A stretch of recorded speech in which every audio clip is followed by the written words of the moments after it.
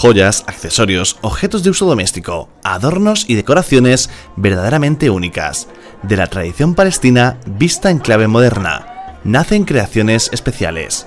Es la octava edición del Palestinian Woman Mazar, evento organizado por el Consulado Americano de Jerusalén, que implica a mujeres artesanas y artistas de la Ciudad Santa, pero también de Cisjordania y de la Franja.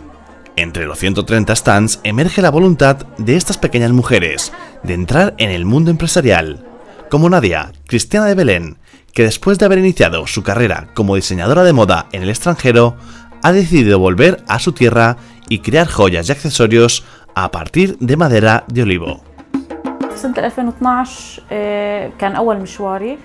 El 2012 es el año de inicio de mi carrera cuando fui invitada a participar en la Semana de la Moda en Amán, en Jordania.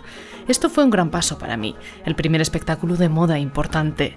A través de mis trabajos quería hacer emerger mis orígenes, por lo que pensé en símbolos puramente bedlemitas, uno de los cuales es el olivo. Por ello decidí preparar una serie de accesorios para ser usados durante los desfiles una tradición secular, la del trabajo de la madera de olivo en estas tierras, dúctil y resistente a diversos tipos de uso. La madera de olivo tiene una veta especial que lo caracteriza y que da así a cada pequeña pieza un encanto especial.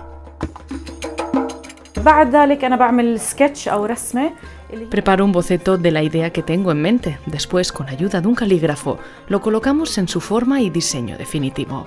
Después lo acabamos y lo estampamos. Finalmente, hacemos el trabajo detallado manualmente para obtener el producto final.